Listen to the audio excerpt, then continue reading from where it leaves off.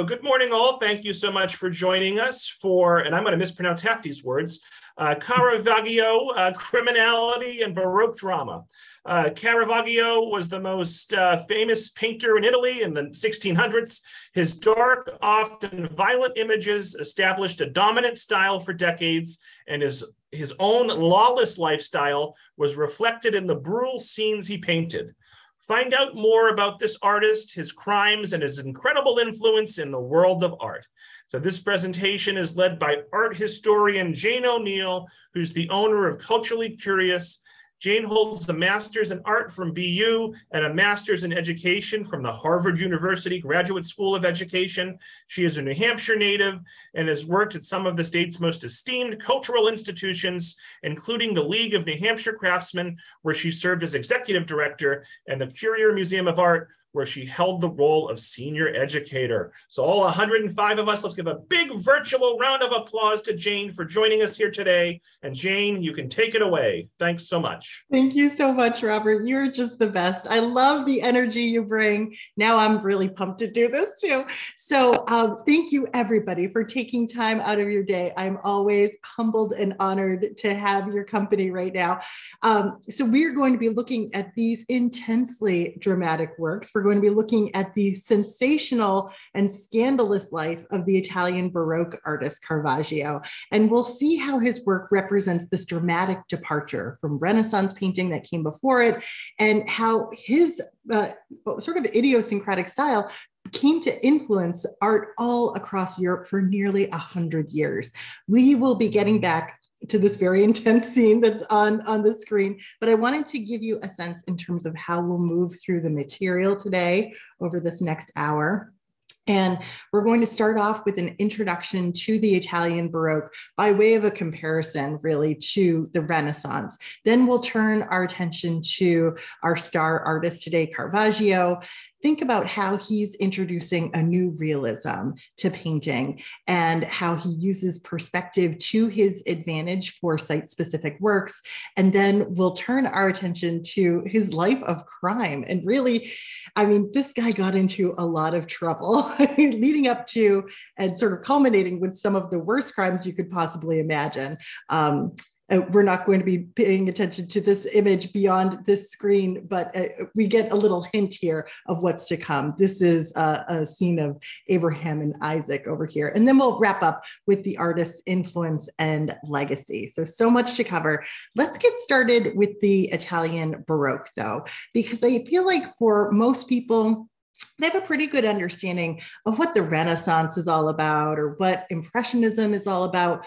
But the Baroque is a little bit out there. it's a little bit beyond, I think, just general common knowledge. So, just to get us situated, we're looking at two images from the Italian Renaissance. You might even remember Michelangelo's David from last month when we were talking about Michelangelo. Over here on the right is um, the, uh, the Marriage of the Virgin uh, uh, painting by the Italian Renaissance artist Raphael. And so these are two great emblematic images of the Renaissance, which took place, the High Renaissance, really about 100 years before. Um, artists like Caravaggio are, are leading the way into the Baroque period. And so when you look at these works, I want to just draw your attention to a couple of things. Over here on the left in the painting, we have this emphasis on linear perspective. Raphael is literally putting a grid on the ground here to show you that he knows how to create this illusion of space receding into depth here so that his picture looks like a window onto a world, a world that you could step right into. Notice too that he includes this architecture here, which is balanced, it's symmetrical. We have very rational shapes here um, from the curved, almost circular dome and to the half uh, to the uh, curved arches here as well. Everything is um, is based on these rational geometries. Over here with Michelangelo's David, we are reminded that when it comes to the Renaissance, artists are thinking of the classical past and, um, and thinking about ways to idealize their figures. So, of course, we have Michelangelo's David looking um, like an absolute uh, sort of perfect physical specimen here with a pose that's based on classical models. Uh, we also have this, this sense of balance here as well with this shift of the hips that the Italians referred to as contrapposto. So he, it, uh, uh, Michelangelo is, is presenting this human form to us with this really kind of balanced, rational composition. One leg at work, one arm at work, one leg at rest, one arm at rest. And um, just to extend along uh, this, this thread of, of what the Italian Renaissance sort of represents, and then we'll see how it changes with the Baroque. One last painting from the Renaissance artist Raphael. This is his Madonna of the Meadow from 1506. And with an image like this, we can see that the colors are bright, these really vivid reds and blues in the Madonna's robes here. And um, and there's just enough shadow here to give us a sense of depth. It doesn't, it, so that the figures don't look overly flat. But for the most part, this is a bright, evenly lit composition. And it's incredibly balanced. The Virgin and the Christ child here and John the Baptist as a Christ, as, a child, um, are, are unified in this pyramidal shape. There's even like a pyramid within the pyramid here. So everything is based on the, you know, rational geometries, balance, proportion, shape, and idealized beauty. I mean, this virgin here is blonde. She's lovely. Uh, it doesn't get more uh, uh, more beautiful than this. And beyond her, Raphael has provided this gorgeous scenery. Now let's think about how all of this changes when it comes to the Baroque. We thought a little bit about the architecture in the background of Raphael's painting over here, where everything was made up of, you know, squares and, and half circles and, and rational proportions when it gets to the Baroque, everything is about emotion. It's about surprises. You, as the visitor to a site like this, are supposed to be kind of overwhelmed by the space. So um, the walls become these kind of undulating masses. We don't have circles, we have ovals. Proportions are exaggerated. So the entire goal of, of Baroque architecture is, um, is like 180 degrees away from Renaissance architecture. When it comes to sculpture, we can see that Baroque sculptors are not as interested in just a, a static image like we saw with Michelangelo's David. This is another version of David created about 100 years later by the Baroque sculptor Bernini. And in this case, Bernini's David is, um, is a man of action. He is actually um, pulling that slingshot taut right here so that he can take down the giant Goliath. This is that consequential moment in the story of David and Goliath. And so, um, so so really bernini conceived of his david as something that you would see from all the way around and that is not what we see with michelangelo's david you can see this is really the um, the the ideal perspective the ideal view of michelangelo's david. And you can see as you walk around it you know the pose sort of comes apart in terms of you know the balance of that composition. It's just not as satisfying. But when it comes to the baroque and this idea of experiencing things from multiple perspectives experiencing drama you can see that a baroque sculpture like bernini's david is something that you're supposed to experience um, 360 degrees all around. We have this figure figure here who is coiled like a tight spring, who is ready to, to unleash all of this potential energy here. All right, so let's bring it back to Caravaggio and to painting once again. If we compare this painting by Caravaggio called The Calling of St. Matthew to, um, to this painting that we saw before by Raphael, we can see that the goals of the artists from the Renaissance and from the Baroque are completely different. First off, I think one of the things that my eye goes to is that when it comes to the Baroque, there is so much shadow. These pictures are dark. They and, and I think they, they have this moodiness to them.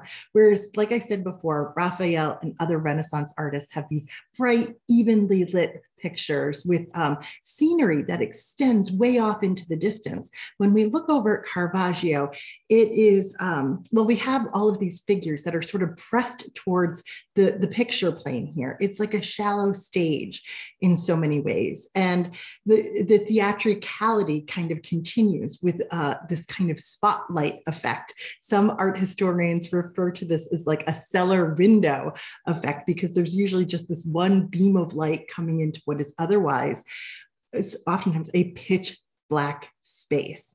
So, um, so we all also see that with this comparison, that Baroque artists like Caravaggio are not as interested in these beautiful saturated gem-like colors that we saw in the Renaissance. We have um, you know some some uh, some bright reds that kind of lead our eye around the picture. But it's really about this um, this tension between light and shadow that is ruling these kinds of paintings here. And then finally uh, when we looked at the at Raphael's Madonna, she was perfectly beautiful. And when we look over here at Caravaggio's painting, the emphasis is not on human beauty. In fact, we're, we're actually looking at an image of Jesus. He's this character on the far right here. And he doesn't stand out for being perfectly gorgeous. He has the faintest halo in the world. Uh, there are some figures that are, are realistic here, but for the most part, uh, we have Caravaggio going um, 180 degrees away from, from idealization. He wants to show us what real people look like.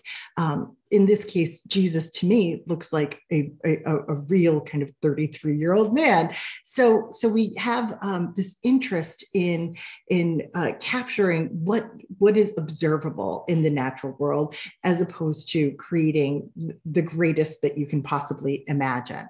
So this, in this moment, we have Jesus coming into uh, uh, like an accountant's office, essentially a tax collector's office, and he's ca- calling upon St. Matthew and converting him to Christianity in this moment. We have the light reinforcing this dramatic conversion. We also have Jesus lifting up that hand in, um, in this way that almost seems belabored. There's almost no power behind this gesture to refer to the fact that Matthew is about to be converted. Art historians actually debate over which one of these figures is Matthew, because we can see this man here has raised his head, but he's pointing to somebody else. The light is on his face as though he is experi- experiencing or about to experience a conversion.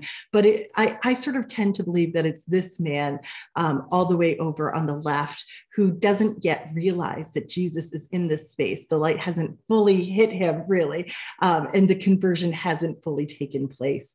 So, so this this this gesture here is probably uh, Caravaggio thinking back to uh, the Renaissance precedents of what we saw last month when we were looking at Michelangelo's work. That that um, that gesture from Adam before he's imbued really with a human soul, with with um, with you know the zest of human life really. So there's a lot here that's related to the renaissance but in so many ways it is very different. But keep that name michelangelo in mind because caravaggio we're looking at a portrait of him here by an artist named leoni caravaggio's actual name is michelangelo merisi de caravaggio. He's actually named he has the same name as the as the renaissance master but of course he is working about 100 100 years later. He was born almost exactly 100 years after Michelangelo in the year 1571, and, um, and he only lives to the age of 38. So we're going to see some incredible production during a very short time.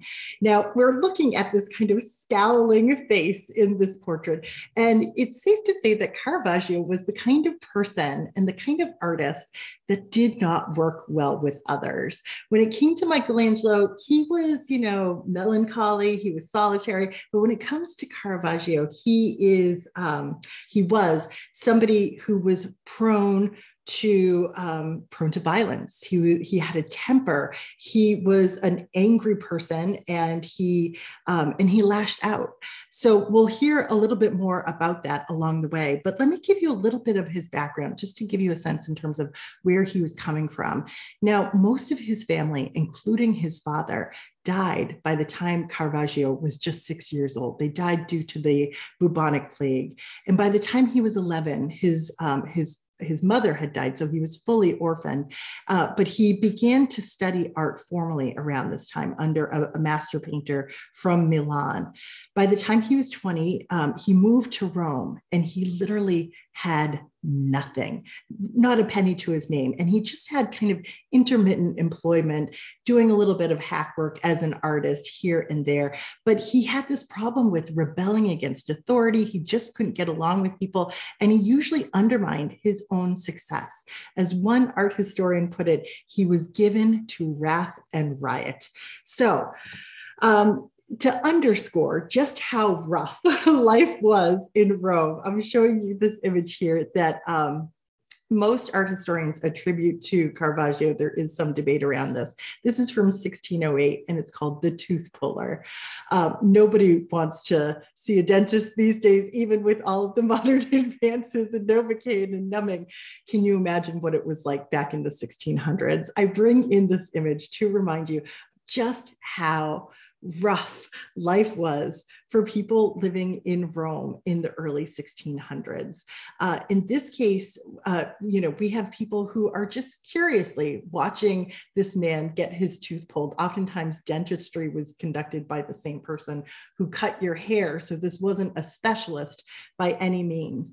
Now, in addition to, you know, violently getting teeth pulled out of your mouth, you have Caravaggio who is moving through the city of Rome, getting into fights. There are gangs, there are prostitutes, there are duels. It was a wild and violent time.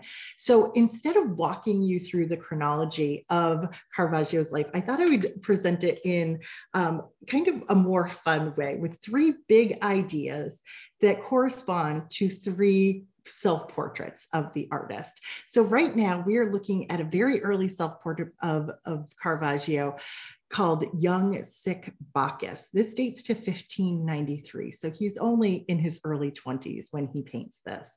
So he is painting himself in the guise of the god of wine. And this is a pretty unusual painting. It's not like an artist had never painted themselves like a Bacchus before, but in this case, he's sick. He's got this yellowy skin, he's got white lips here. He looks like he's not doing well. So, this is a really strange presentation of the god of wine, the god of good times. Here he is looking like he's hungover. What a strange what a strange notion for this artist to present and to present himself in this way? Well, we know that Caravaggio um, had actually been in the hospital for about six months before he painted this. It was due to malaria, not um, over, uh, not over in, indulging in, in, in drink. But but keep this painting and this idea in your mind. There is this wild partier within Caravaggio, and this is going to be a continuing thread as we look at his work and consider his life. Just to give you a sense in terms of how sick he looks in this picture picture, um, cuddling up to the grapes there. Here's another Bacchus figure that he painted from right around the same time. And you can see the flesh tone is really different. You can see that, um, that instead over here, we have this lovely plump face with the pink lips. This is somebody who looks like they're kind of thriving, eh, uh, much more than, than young sick Bacchus over here. So our next big idea uh, in terms of an introduction when it comes to Caravaggio, uh, we'll, we'll look at in this picture called The Taking of Christ from 1602. The big idea here um, is that Caravaggio was an influencer. We know he was a party animal, wild party animal, and an influencer. So in The Taking of Christ, this is Judas betraying Christ with a kiss and the, and the soldiers coming to take Christ away. Now, in this scene, you can see a figure back here who's actually holding up a lantern. He is um, he's illuminating this nighttime scene, although that lantern is not the light source in this picture. And that is uh, supposedly a self portrait by the artist. So there's a couple of ideas happening here. Caravaggio is an influencer in the sense that almost all of his paintings are commissioned by the Catholic Church. He's telling really powerful stories on behalf of the church that's trying to win back congregants away from um, Protestantism, which is really on the rise during this time. So he's influencing people with his images. But the other element of being an influencer that we see in this picture is that he is part of a mob here. He's actually kind of a one man mob. So he's influencing people in terms of his violence, his tendency towards um, towards uh, lashing out physically, to being a part of gangs, all of this criminality that is associated with his behavior as quarter is kind of wrapped up in this image as well. So um, just uh, okay, one last image to introduce our artist here goes back to David and Goliath once again. Instead of this beautiful um, uh, uh, adult man that Michelangelo gave us in the Renaissance, we have Caravaggio painting David as a young boy and holding up the decapitated head of the giant Goliath. So, in this painting, apparently, Caravaggio used his own self portrait for the head of Goliath here. And so, the last big idea about Caravaggio, which I think we can gather from the self portrait, is that he's a villain. And he's kind of admitting that, maybe even trying to absolve himself with a, a self portrait like this within this context here. Perhaps he's even saying that he's deserving of death. Um, or at least some sort of punishment for a lifetime of misdeeds. This was one of his um, much later paintings. So let's turn our attention to this notion of realism in Caravaggio's work and get a real understanding of just how different this was from everything else that was happening. We've done a good comparison between his paintings and the Renaissance, which was 100 years earlier. But what was happening right at the time that Caravaggio was painting? Well, one of the most popular styles at the time was called Mannerism. This is um, a famous Mannerist painting over here on the left by an artist named Parmigianino. It's called Madonna with the Long Neck.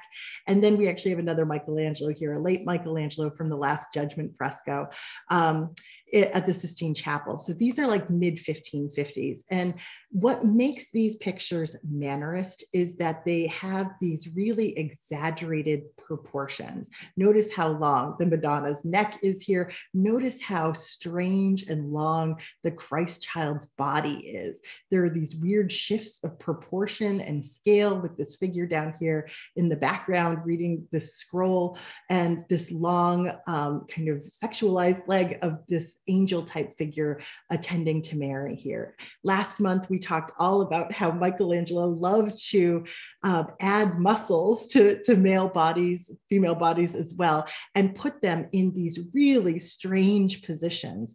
All of this was to add to, to enhance the idea of what these figures were there to convey. And so Caravaggio represents a real striking contrast from this tendency in mannerism. And we're going to look at it first um, in the case of um, of a still life. And some of his earliest paintings were still life paintings. And I remember when I first glanced at this, it didn't really captivate me, but we're going to just spend a minute looking at this picture because it really is astonishing. So this is Basket of Fruit from 1597. And this is in a collection in Milan. This is Caravaggio entering really his professional career as an artist with a, a really striking work that is so different from mannerism, not just because we're not looking at the human body, but because he is so carefully studying his material, his, his uh, source material here, in this case, real fruit. Notice how some of the leaves from this fruit are kind of shriveling up. Some of them are kind of dying over here. There's even some um, uh, uh, little holes in them for where they've been eaten by, by insects. He also pushes this basket of fruit just a little bit over the edge of the table here, pushing it into our space so that it feels even more real. The, the French call this uh, a trompe l'oeil, but uh, which means to fool the eye. And, and it, it, fools our brains too into thinking that this is a real basket of fruit, that that's a real wormhole in an apple. Now, this was, uh, this is all painted with such realism that botanists today can look at these leaves and tell us what kind of insects were actually eating those leaves. That's the level of, of realism here. Uh, there's also this wonderful use of negative space, the, you know, the decision to allow so much of this composition to be this kind of off-white, almost golden background. So he's doing a lot of things in, um, in a different way, and they begin to really take hold. So we're going to go and transition from this one basket of fruit to the next, where you can see he's doing almost the exact same thing in this detail of a painting. We'll zoom out in just a moment. Um, but this basket of fruit is also hanging over the edge of a table. It also features um, apples with wormholes and that sort of thing. Now, as we zoom out, we can see that the, that same basket of fruit is, um, is kind of essential to the storytelling here.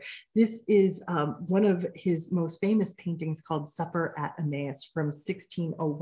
And this is really when Caravaggio is reaching the height of his artistic powers. This painting is in the collection of the National Gallery in London. So let's think a little bit about realism here and how it ties into the story. Um, the Supper at Emmaus is a scene from the Gospels where, uh, where Christ, who has already been crucified, appears momentarily to two of his apostles. So, uh, and according to the Gospels, he kind of appears in a changed form. So, Caravaggio paints Christ without his signature beard. He looks uh, very young in this scene. And the apostles are so surprised to see him. And look at how realistic these apostles look. These are men with weathered, aged faces, torn clothes. They look like laborers in some way. You could even make the case that Christ looks slightly effeminate. And so he appears to them at this supper momentarily. They are reacting to it. Notice how Caravaggio foreshortens this apostle's hands as, as he stretches out his arms. And then we also have sort of the waiter at this dinner table who um, isn't who doesn't share this vision and isn't reacting or is surprised as the apostles here. So there is so much uh, powerful storytelling going on and it's all really rooted in um, in the detailed realism of the figures of the items on the table. It seems like something we are witnessing in real time. And of course it has all the other signature baroque elements here with the the, the large spotlit figures pressed uh, close to the the, plane of the picture and that kind of cellar, uh, cellar window lighting here with the black background and this one kind of beam of light illuminating everything. So the realism plays a huge role. And of course, this is a religious image as so many of the pictures that we will be looking at today are.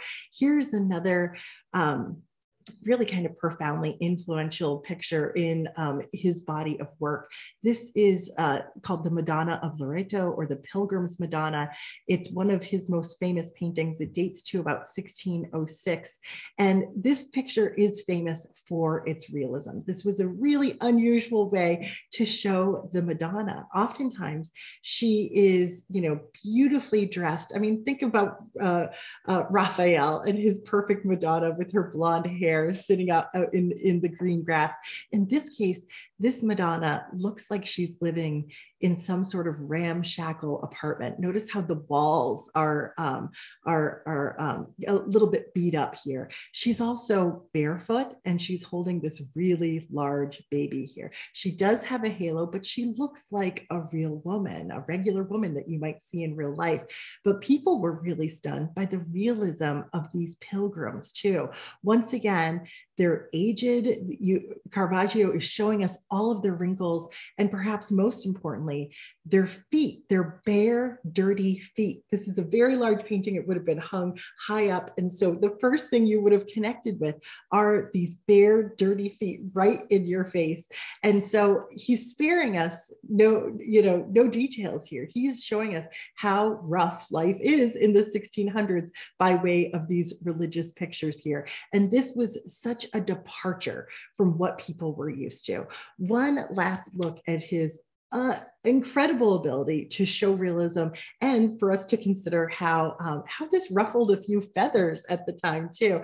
This is one of his iconic works called the death of the virgin. Uh, most of these paintings are still in italy. This one is at the louvre in france so you know um, it's one of the best.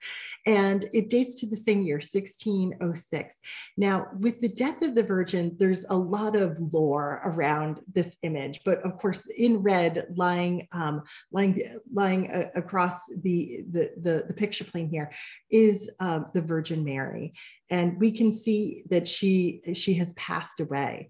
Now, one of one of the elements to the lore of this picture are her feet. Um, not quite as dirty as the pilgrim that we just saw before, but they're like these swollen feet. And um, and so for her for her body to be exposed in this way in this kind of ungainly way it was considered that that the lore around this is that that was one of the sticking points uh, about why people didn't really like this picture. There's another story out there that perhaps caravaggio had based uh, the virgin mary here on um, on the body of a dead prostitute that he had sort of available to to study in advance of this picture. But as it turns out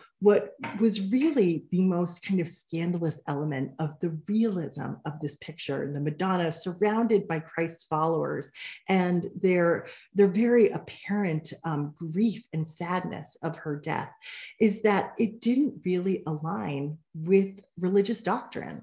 If we think about the death of the Virgin, um, she assumes into heaven. She is assumed into heaven, uh, uh, fully formed. She she doesn't lie around as dead body. She goes right up to heaven and it joins her son. And so, if we compare it to an early Renaissance work, this one's at the Gardner Museum in Boston. One of my favorite little paintings there. We can see this is called the Dormition of the Virgin. She's lying. Uh, lifeless here, but she is um, she's still composed. She's not um, she's not splayed out on a table. And then we see her in the heavenly realm in this beautiful gown. And certainly we we don't get that that storytelling in Caravaggio's painting. This really looks like a dead woman with grief-stricken followers who don't uh, who don't know and can't imagine that she's going to be assumed up to heaven. So his approach to painting is so different um, in terms of storytelling, in terms of, of the realism of the figures. Now we're going to take a look too and consider how he uses perspective in a very innovative way. Um, we talked a little bit about sculpture and how uh, Baroque sculpture was so different from the Renaissance uh, sculpture that Bernini's David here was something that uh, the artist intended us to experience from the round. There were a number of really incredible works in sculpture that were um, that were sort of testing the boundaries of sculpture itself that might have influenced Caravaggio. This is another work by Bernini here. And um, and it's called The Ecstasy of St. Teresa. What we can see here is a nun named St. Teresa who is having this vision where a, an angel repeatedly um, pierces her with this golden arrow of God's love. And, and it's an ecstatic moment for her, to say the least. And we have these kind of golden rays of light coming down behind them. But that's not all that this sculpture is. This sculpture was really conceived as like a stage set. Um, within this little niche here, it looks like they're on a theater set, and there's actually a window up behind this pediment over here. So real um, daylight sort of streams down those golden rays that are placed there. What's more, Bernini, our sculptor here, has even added in sculptural busts of figures who commissioned this piece uh, to kind of sit in balconies and observe this miracle uh, taking place on this stage like setting. So, thinking about how viewers engage with works is really a critical aspect of, uh, of the, the Italian Baroque. And so, we're going to see how Bernini does that, or sorry, Caravaggio does that in his paintings. So, we've already looked at the calling of St. Matthew, this really powerful work that, in, in this case, has this light, that cellar window light, kind of streaming in from the right side here, kind of uh, reinforcing or underscoring Jesus's decision to convert this particular uh, um, uh, tax collector. Now, its placement, and this was a, a site-specific work, its placement was designed to um, or I should say the composition was designed uh, with relationship to its, its, to the architecture in which it was being placed. This was created for a church setting. Um, I might butcher the name of it. It's called San Luigi uh, dia uh, freschi in Rome. And it, this was painted in the 1600s uh, or right around 1600. And so this is a church where you would walk in. This is like the main nave of the church. This is a, the corresponding plan. And the nave has these side aisles where people can walk. If you have really good eyes, you might be able to see them over here. Now, all along the side aisles are these side chapels. And it's in these areas where um, Caravaggio often painted site specific works. These are tight spaces that are not um, that, that are not accessible to the general public. They come up to these little gates here and they can kind of peer in. And oftentimes Caravaggio's paintings are on the side walls in these chapels. That is exactly where his um, calling of St. Matthew is. So you're peering in over here into this little side chapel. There's a painting directly across from you.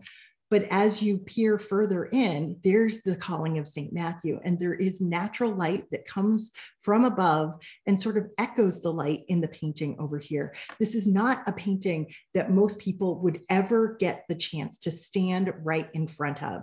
So instead, Caravaggio is thinking about how he can sort of optimize or maximize the setting here and the natural light to underscore the storytelling that he's incorporating. Now we're going to see how he does this with a couple of other religious images. This is such a powerful image. It's called the Entombment of Christ from 1603. This is um, also at uh, in um, a little chapel area in a church in Rome.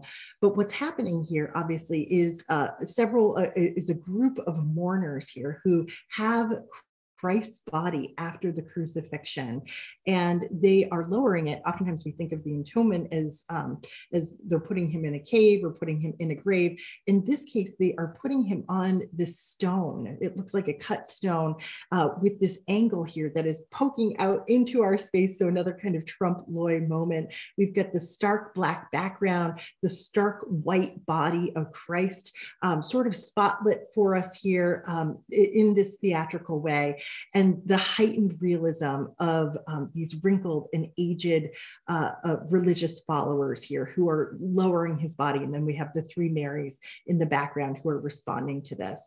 Now, this is another site specific work in front of this little altar within this specific church where they would bless the host for. Um, for communion.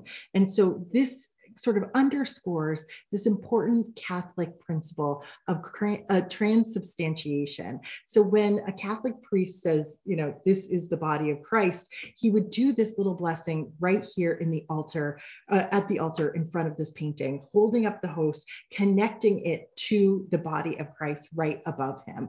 So Caravaggio is doing really smart things to connect his paintings to the architecture and in this case, to the rituals within this church. Now, he's going to use perspective in some really astonishing ways for this next little chapel that we're looking at. He has two paintings within this one chapel. This is another conversion painting. We already saw the conversion of, um, of Matthew. This is the conversion of Paul on the way to Damascus. This was painted for um, the church Santa Maria del Popolo in 1601. So again, right really at the height of his artistic powers. So in this conversion scene, Jesus isn't there. He's not raising sort of a lazy hand to um, to convert someone. Instead, he has um, he he he had, well, instead, Caravaggio shows us this scene as though it's just this kind of magical, mystical light that is converting um, Saul into Paul. We have him lying here on the ground. He's been knocked off this horse. He was, prior to this moment of conversion, he was a, a zealous Pharisee. He had been persecuting followers of Jesus. But in this moment, as he's knocked off his horse and is lying on the ground with his arms up in the air, he is uh, he is embracing literally the light of God. And this is such a remarkable conversion. It's a strange painting. It looks like he's about to be trampled by this horse in some ways. And we've got this kind of uh, um, older man with, you know, the wrinkled face who is, is getting the horse under control. But look at the way Caravaggio paints this body of Paul, Saul slash Paul here, kind of projecting out into our space or towards our space at this dramatic angle here. And that is really reinforced by the placement of this particular painting. This is a plan for the church Santa Maria del Popolo. And this painting is actually in this section here that's labeled number 10. And it's right along this wall here. So you as, as a visitor could go up here, but really can't cross this line. You can just peer into this chapel and you would see um, uh, this conversion scene with this figure who looks like he's extending out towards you.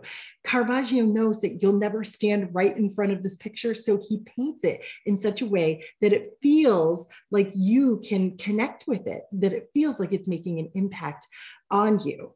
Now, the next uh, image that he created for this tiny little chapel here, it's not the central image, it's directly across from uh, the conversion of Paul. And it is the crucifixion of St. Peter. So it's done in the same year, 1601. And St. Peter, of course, was uh, essentially the, the, first pope. He was given the keys to the kingdom. And, um, and when he uh, was martyred, he was crucified upside down. And so we can see this horrific scene with, um, with an elderly St. Peter whose body is, again, kind of spotlit by this theatrical lighting, uh, nailed to this cross. And we can see these three men in the process of raising this cross. So it's all happening at this uh, unusual and dramatic angle uh, with his feet sort of pointing almost out of the picture itself, um, his feet with the nails impaled through them. And just as a reminder, we as the viewer would be seeing it pretty much from this angle. So we, his feet are kind of closest to us. It's a dramatic storytelling, but it's all um, painted at this angle that sort of suits the, the architectural space and the fact that as viewers, we would be seeing it from such a strange angle. So here is kind of a wide shot where you can see both of these images that Caravaggio has painted in a way that they seem to reach out towards you as the visitor. Um, here is just another view of it from further back, you can see you really have to be standing right up against this gate in order to get any view of these images. And Caravaggio wanted to make these images jump out at you. All right, so we can see how he's using perspective and really trying to engage uh, visitors and viewers with these scenes. And remarkably, they've been in the same place for over the last 400 years. Now let's turn our attention to Caravaggio's life of crime. I love a good true crime story, don't you? Now, um, it's amazing to think that this person who is working in service of the Catholic Church is so embroiled in crime himself, but it's something that we see really throughout his life. And once again, I'm going to use his own pictures to kind of underscore how, um, how his crimes get increasingly more severe. So we're going to start off with a fairly early work here. This is 1594. It's called The Card Sharps. And this work is actually in America. It's at the Kimbell Art Museum in Fort Worth, Texas. So we are, of course, seeing people cheating at cards. I love Baroque paintings of people cheating at cards. They're just really fun images to kind of take apart. So we see, you know, this well-dressed young boy, beautiful face, sort of effeminate again. And we see these two tricksters who are ready to take him for all he's worth. So there's uh, one man standing behind him who's eyeing the cards with this kind of big bulge eye and signaling to his partner who has a few cards tucked into the back of his clothing here so that he can, you know, put together a winning hand. Now, in my estimation, this is petty crime, right? I mean, this is just, you know, what's in a man's wallet on, on a certain day. And Caravaggio himself kind of started off with smaller crimes. Um, he was, for instance, uh, brought to court for libel uh, because he was saying such horrible things about an artistic rival of his. He was actually wrote it in poetry form. And now this doesn't sound so bad, but it was like peppered with obscenities. It was really kind of the worst of the worst that you could communicate. Uh, think of it as the equivalent of, of like online bullying, really. So he he was uh, uh, truly offensive with his language as it related to um, to a rival of his. But you know, still comparatively speaking, low level crime. Here's just another image just to show a, little bit for, uh, of Caravaggio's influence. This is a, a similar painting that was done by a French artist named Latour. We'll, we'll see, I think, a few more card tricks today too. Uh, one more image of petty crime created by Caravaggio early on in his career. This is called The Fortune Teller. It dates to 1599, and this is also at the Louvre Museum. So this fortune teller, this lovely young woman who has locked eyes with this well-to-do young boy, is sort of fingering his palm, you know, telling him what his fortune will be, what will his life look like. But if you have very good eyes, she's actually pulling a ring off of his finger. And so she is you know making away with with a little treasure of her own in this particular image. This is just a good reminder that that caravaggio's life started off with these kind of minor offenses. Um, but it escalates and it gets violent pretty quickly. Uh, in this case, we are looking at a decapitated head, but it's a myth mythological figure. We are, of course, looking at Medusa. And this kind of corresponds to the fact that for Caravaggio, he was getting into trouble for uh, carrying around a sword when he shouldn't been. Uh, there were all these offenses that took place at like two or three o'clock in the morning in Rome. He's getting into fights, he's threatening people with these swords. Things are not looking good. He is um, also, uh, you know, just acting out against people that he shouldn't. He there's a famous story of how he was at a restaurant and he threw a plate full of artichokes at a waiter. Doesn't sound that awful, but if you were sitting in that restaurant and you saw somebody throw their food at a waiter, yeah, I mean that's that's pretty um, antisocial behavior, right? So we see this kind of violence escalating in his artwork too. In this case, Medusa's head is painted on this convex shield, and so we have all of the um, all of the wonderful detail of, of Medusa's snake uh, well hair that is snakes and then the horror of her expression as her head has just been um, uh, uh, disconnected from her body, and then the gore of the blood pouring out down below. So Caravaggio is not afraid to kind of escalate the, the kind of violence that he is painting. And perhaps the most famous violent painting that he ever created is his depiction of Judith and Holofernes. This is this was painted in 1598. Now, this is a religious uh, subject, and it was probably um, but will almost certainly commissioned for um, religious purposes as well. But it's a bloody subject. It's a beheading, and in this case, uh, Judith was sort of a, a heroine. Uh, her her uh, uh, uh, uh her community, her town was being held hostage. There was a siege. And so she went to Holofernes, the general's tent of the opposing army, and seduces him, gets him drunk. And when he falls asleep, she takes his head off. And, um, and Caravaggio is doing this with his typical bag of tricks. There's a dark and shadowy background. The figures are right pressed against the picture plane with these spotlit uh, bodies, almost, you know, white pale skin here. And um, we have the, the this dramatic moment with the blood spilling out uh, from uh, from Holofernes' neck here.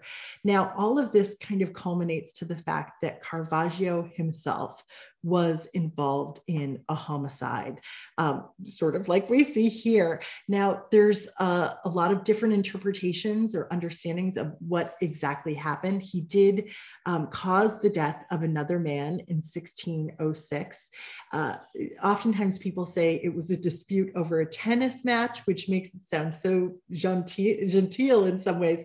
But um, but uh, there's another theory out there that they were actually fighting over a woman, and that woman may have been prostitute. In any event, it caused Caravaggio to flee. He had to leave town. He got out of Rome and then um, finds himself uh, in Malta a few years later, where he creates this final major masterwork before his own untimely death, sort of perhaps speaking to um, the violence that he uh, uh, uh, exhibited throughout his life. So this this is a painting called "The Beheading of John the Baptist" from 1608.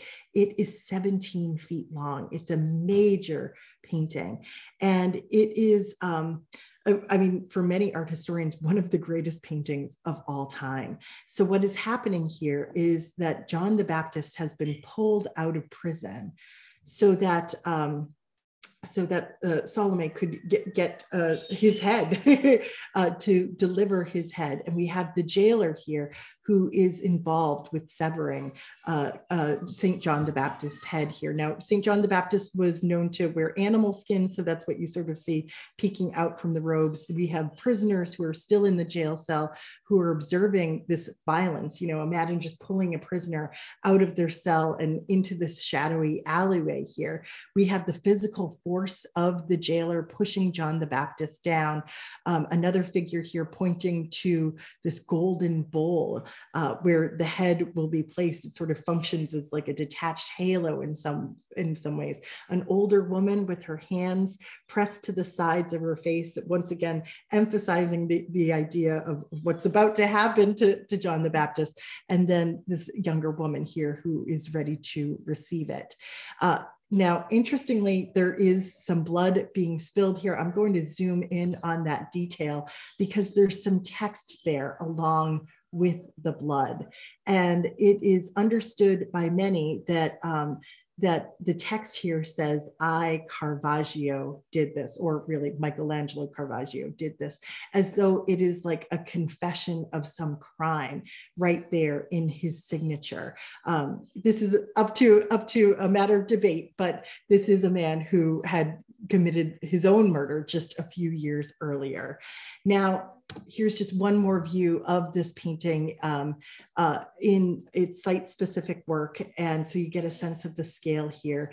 It would be a, a, really powerful way for this artist to try and maybe even absolve some of his, his lifetime of sins here.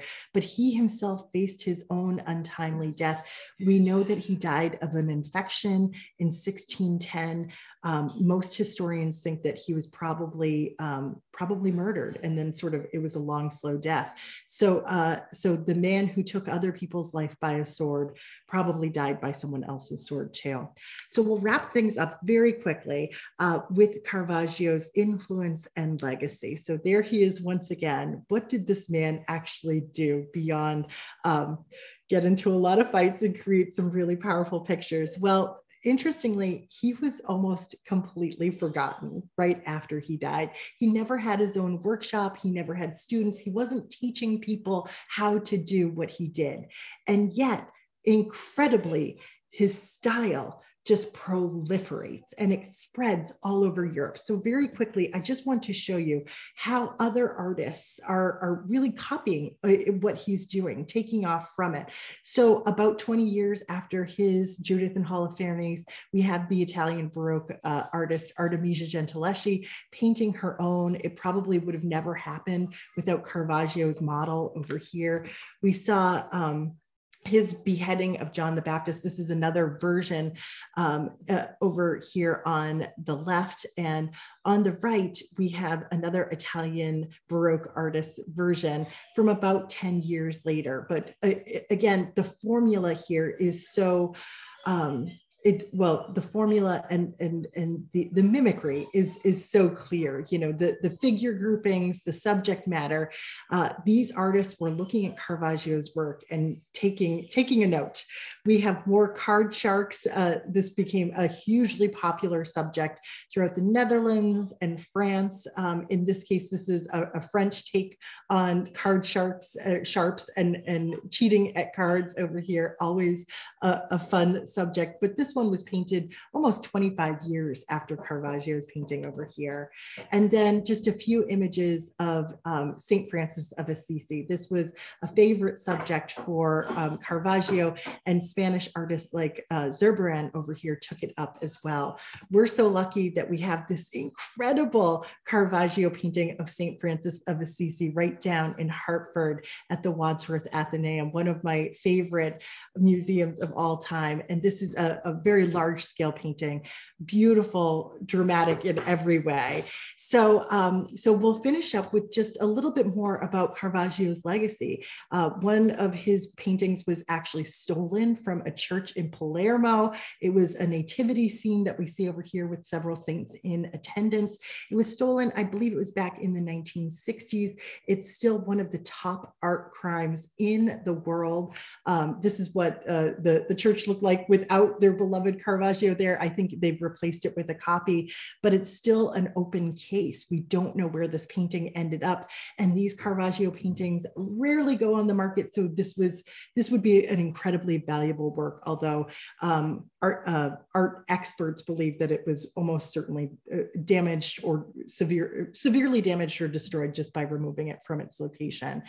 Every now and then a Caravaggio painting is sort of discovered, uh, in this case in an attic in France, and, um, and the speculation for how much will be paid for these kinds of images is always like these soaring estimates. And so this, um, this sort of recently discovered Caravaggio apparently went for more than a $100 million, uh, a really kind of grotesque take on the more familiar uh, Judith and Holofernes over here. So uh, unbelievable prices because his, I mean, people are really fascinated by his pictures. We will end today with two images that we haven't had a chance to look at, but I wanted to give you a really good sense of the scope of his work. This is a boy being bitten by a little lizard. So you can see over here, there's all this shock in response to that. And this is Narcissus falling in love with his own reflection in the water. And so I wanted to end with these two images because I think in so many ways they represent what Caravaggio does for us. There's shock and alarm, like we see over here on the left. But then there's also something that's totally awe inspiring, as we see over here on the right.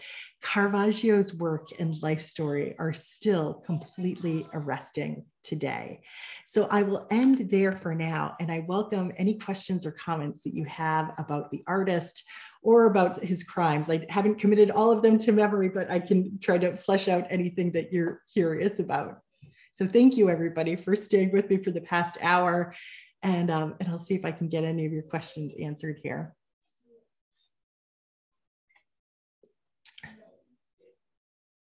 All right, and I'm looking at Donna's question. In the opening slide, I see a person on the right breaking a stick using his leg. There must be some kind of hidden meaning to the action. The opening slide, is it this one? But I don't see a stick. So maybe I'll, I'll, scroll back through there and see if I can get back to that, Donna. Let's see. Diane asks, is there any record of Caravaggio having any romantic relationships with women or men or any children? Um, Diane, I don't, I'm not aware of, of uh, any children that he might have fathered, but I think he had um, a number of relationships with women, primarily prostitutes, from what I understand. And Teresa asked, were all of his paintings commissioned by the Catholic Church? Uh, for the most part, I, I, think almost all of them were. Uh, occasionally, there there might have been a portrait here here or there, but um, but they were his primary um, his primary patrons. And so uh, I'm going to see if I can go back to Donna and see if I might be able to find something where somebody is breaking something over their leg. I'm not sure if I can see that. Um, Sorry, Donna, I'm just not sure if I can see that in any of these pictures here. But if you if you have any more details about which image that was, maybe I can help you with that. Um, let's see, going through some of these questions in the chat. Uh, do we know anything about his models? Great question, Emily. Uh, I have a feeling that they were people that he found on the street as much as possible. They would have been cheap, available, and they would have been they would have been these people with the dirty hands and the dirty feet and the swollen ankles. Um, really. Um, the kind of poor people that Jesus and his followers actually were, but were considered so um, so unusual and really kind of egregious uh, to his contemporary audiences because they weren't they, they, didn't look like the perfect the divine figures that had been painted uh, for hundreds of years. So really uh, essentially street people. Um, as an orphan, did he have any relatives? Regina asks. Uh, I believe uh, almost his entire family was killed by the bubonic plague. Uh, I don't know if he had any distant relatives, but I, I, I don't even think he had any siblings. I think uh, he pretty much lost everybody uh, very early on. It doesn't seem like he had any family connections that he sustained. Um, let's see. Oh, it's the wedding scene. Let's see if I know which one we're talking. Oh, the wedding scene. Oh, okay. Um, here we go. The breaking of the stick. Good question. um, I, I, I'm not sure about that. My first thought is like the Jewish tradition of like smashing a glass and saying, you know, in, until all the, the pieces of the, of the, glass come together, you know, let's, uh, I, uh, we hope that this marriage lasts that long. So maybe it's a, this idea of like you destroy something small like that to sort of say, you know, until this comes back together, may this marriage last that long? I, I honestly don't know. I'm just speculating there. So that could be what's happening. I'm not sure. Um, an anonymous attendee says, when I was in Italy, the feeling towards Caravaggio was that he was a genius, but not well liked or respected. Was a slightly dismissive feeling. Oh, that's really interesting. Um, it could be because, uh, I mean, personally, he did. I mean, he did not get along with people. He got into so much trouble. I'm not sure if there was something else underneath that the, uh, the sort of dismissive feeling that that you that you have there. I, I think that there's new really kind of surging interest in caravaggio particularly in the past decade because his life was so salacious. Um, you know there's so many artists out there that just you know have their painting or their sculpture and they just do their job and it doesn't make them entirely interesting to, to, to uh, look at in, in great depth. But when you have an artist like this, whose um, whose artwork kind of matches the um, well, revolutionary artwork sort of matches the violent nature of the artist himself. It's, um, I think it, it's really good fodder for um, for research and for writing. So I, I, I wonder how long ago maybe you were in Italy. Maybe things have changed in the past decade. Emily says, I've heard that Caravaggio was gay. Any truth to that? And if so, any reflection in his art of this orientation? Um, I don't know offhand if that is correct, but I will say he certainly had an interest in painting sort slightly effeminate young men. There's a lot of images like this, even at the supper at Emmaus, where Christ appears at the table without a beard. Um, that was another sort of effeminate young man. And these are really uh, sensual images. In this case, this is a big black bow that's kind of holding his toga together, and he's fingering it as though he's about to disrobe right in front of us. So there's this incredible sensuality to these scenes. And I think um, you could extend that to perhaps there uh, perhaps uh, that was the direction that Caravaggio uh, was interested in uh, but uh, you know I, I I can't say for sure it does seem like like female prostitutes were a part of his life as well um, Catalina asked, did Caravaggio see financial success during his lifetime? He most certainly did. I mean, he probably squandered a lot of what he made, but these are very large commissions that he was getting from the church. Some of those, particularly some of those site specific works in the chapels, I mean, those were like 10, 12 foot high paintings. These would have taken a long time to execute. The materials necessary for them would have been expensive, and I expected that he would have been rewarded handsomely for them. Um, Teresa asks, may I, ha- I may have missed it, when was he born and how did he train to become a painter? He was born in 1571, and shortly after he was orphaned, he went to study with a master painter. I'm sorry, I don't have that artist's name. Just I didn't include it in my notes because I don't think it was an artist that, that most people would recognize. There was a master painter in Milan that he trained with, and then he ended up going to Rome on his own. Anne says breaking the glass by stomping on it is related to the destruction of the temple of Jerusalem. Thank you for adding that, Anne. I think that sort of fleshes out what I was uh, attempting to say there. Uh, do I think he was? I think the the intention here is to say schizophrenic. Maybe I have a feeling he was a little bit of a sociopath. I don't know. I, I, I mean, I can't diagnose him, but I, he was he couldn't stay out of trouble. He couldn't get out of his own way, and he was certainly prone to violence. So I think that there he he was troubled to say the least. And I tend to think that maybe the answer there is is like a sociopath. Um, and Harvey asked, was he responsible for all the paintings in the church? For the most part, no, there's there's no like single church where he painted everything. You're gonna have to go to Rome and go to a lot of churches if you want to if you want to see these works in real life. He typically would just do you know one or two pictures in a side chapel, uh, but it's a really good excuse to to poke around in, in all of these old churches in Rome if you'd like to go see them in real life. And then I think there's one last question here, maybe. Okay. Um, well, we have something th- today. I'm so excited to share this with you because this is like uh, everything lining up. There's a synchronicity here that just works out really well. Tonight, I am debuting a new program on a photographer, a, a modern female photographer named Cindy Sherman. And believe it or not, her she has spent the past 50 years or so dressing up in different guises, completely transforming herself and taking photographs of it. She is um, she's a, a, a real character and her works are fantastic.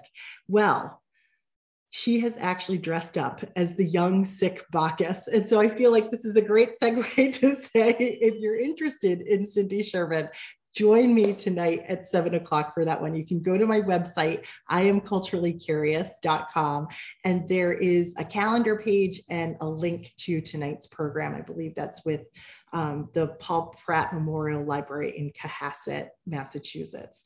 So, so Caravaggio is just kind of serving this up for us in so many ways. So thank you again, everybody, for joining today. Thanks for all the great questions and for your attention. Thank you, Robert, for hosting. I always love working with you and your community. Yeah, no, uh, Jane, wonderful job as always. We will see Jane again next month on Thursday, November 10th at 11 o'clock. So the day before Veterans Day, uh, she'll be with us to give her, her presentation, Heroes and Homecomings, Norman Rockwell and World War II. So that is coming up uh, in, in about a month. So looking forward to that. Always looking forward to Jane. Always a pleasure to work with Jane. Uh, we'll be seeing Jane in December as well. Um, and so, folks, I'll look for an email tomorrow, maybe even this afternoon, uh, with a link to a feedback survey, a link to this recording, and information about, about a bunch more uh, virtual art history programs, as well as the Reading Rivals competition, in case you want to help out Tewksbury. So, Jane, uh, thank you so much as always, and we'll see you in about a month. Have My a pleasure. good one. Take care, everybody. Have a great day. Bye bye. Good luck with your event tonight, Jane. Bye bye.